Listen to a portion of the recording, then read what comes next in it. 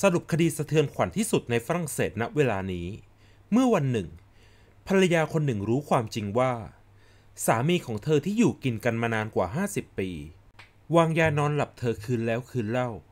และเชิญชวนชายแปลกหน้าเข้ามาในบ้าน เพื่อขืนใจเธอ ขณะที่เธอไม่มีสติ และฝันร้ายนี้ไม่ได้เกิดขึ้นแค่ครั้งสองครั้ง แต่เกิดขึ้นมาเป็นระยะเวลายาวนานเกือบสิบปี และชายแปลกหน้าที่แวะเวียนเข้ามาย่ำยีเธอ จนถึงตอนนี้ ทางการสามารถระบุตัวได้แล้วถึง 50 คน จากทั้งหมด 72 คน กิจกรรมวิปริตนี้ ถูกเปิดเผยออกมาครั้งแรกในเดือนพฤศจิกายนปี 2020 เมื่อจีเซลโปริโก ถูกตำรวจเรียกไปรับฟังข่าวร้าย ขณะที่ตำรวจกำลังสืบสวนคดีที่สามีของเธอ โดมินิก เปลิโก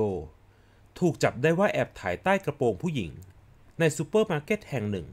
ในเมืองมาซานที่ทั้งคู่อาศัยอยู่ โดยหลังจากที่ตำรวจตรวจสอบคอมพิวเตอร์ของโดมินิก พวกเขาก็พบโฟลเดอร์ที่ชื่อว่า Abuse ซึ่งในนั้นมีภาพและวิดีโอ ขณะที่โดมินิกและชายแปลกหน้าคนอื่นๆ ขืนใจจีเซลในบ้านและบนเตียงของเธอเอง จีเซลเล่าว่าตอนนั้น เธอรู้สึกเหมือนกับโลกทั้งใบได้พังทลายลง ย้อนกลับไปก่อนที่จะได้รู้ความจริงนี้ จีเซลรู้สึกว่าร่างกายของเธอ มีอะไรผิดปกติมาตลอด ไม่ว่าจะเป็นอาการหลงหลงลืมลืมน้ำหนักลด ผมร่วง ตอนนั้นเธอกลัวว่า เธอกำลังจะเป็นโรคอัลไซเมอร์หรือเปล่า และจากการสืบสวนพบว่า อาการเหล่านี้น่าจะเกิดมาจากยาที่สามีของเธอ แอบให้เธอกินมาตลอดหลายสิบปี หนึ่งในนั้นคือยาระงับประสาทชนิดหนึ่ง ซึ่งปกติเอาไว้ใช้ในทางการแพทย์เท่านั้น โดมินิกเชิญชวนชายแปลกหน้า ผ่านทางบทสนทนาชื่อว่า Without Their Knowledge หรือที่แปลว่าไม่รู้ตัว บนเว็บไซต์ ซึ่งมีชื่อเสียงเรื่องการเป็นศูนย์รวมของกิจกรรมผิดกฎหมาย เมื่อชายแปลกหน้าเหล่านี้มาถึงบ้าน โดมินิกตั้งกฎเหล็กเอาไว้ว่า ผู้เข้าร่วมห้ามฉีดน้ำหอม ห้ามสูบบุหรี่ เพื่อไม่ให้ภรรยาของเขา ตื่นขึ้นมาแล้วรู้สึกผิดสังเกตอะไร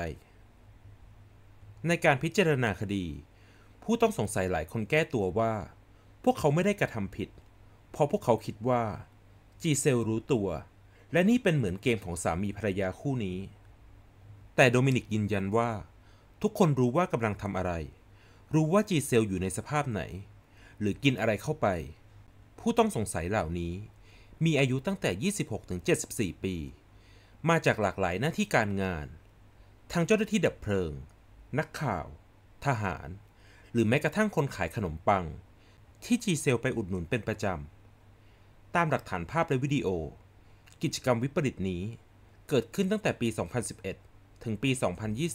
2020 ตัวโดมินิกยอมรับผิดทุกข้อกล่าวหา ขณะที่จำเลยอีกหลายคนยังไม่ยอมรับ พวกเขาถูกตั้งข้อหาข่มขืนกระทำชำเรา หรือพยายามข่มขืน ซึ่งมีโทษจำคุกสูงสุด 20 ปี ตัวโดมินิกเปิดเผยด้วยว่า เขาคิดว่าเขาทำแบบนี้เพราะว่า เขาเคยชวนจีเซลมีเพศสัมพันธ์แบบ swinging หรือการชวนคนอื่นมาร่วมมีเพศสัมพันธ์ด้วย แต่จีเซลปฏิเสธ และเขาเชื่อว่า ความวิปริตทางเพศนี้ เกิดขึ้นจากการที่ตัวเขา เคยถูกล่วงละเมิดทางเพศเมื่อตอนวัยเด็ก อีกหนึ่งเรื่องที่น่าสนใจของคดีนี้คือ การที่จีเซลในวัย 71 ปี เลือกที่จะให้ศาลพิจารณาคดีแบบเปิดเผยต่อสาธารณะ เธอไม่ขอปิดบังชื่อ ตัวตน หรือหน้าตา เพราะเธอเชื่อว่า เหยื่อไม่ควรต้องรู้สึกอับอาย จากการกระทำต่ำช้าของคนร้าย และการทำให้เรื่องเงียบ คือสิ่งที่คนร้ายต้องการมากที่สุด และถึงแม้ว่าจะมีคนจำนวนมาก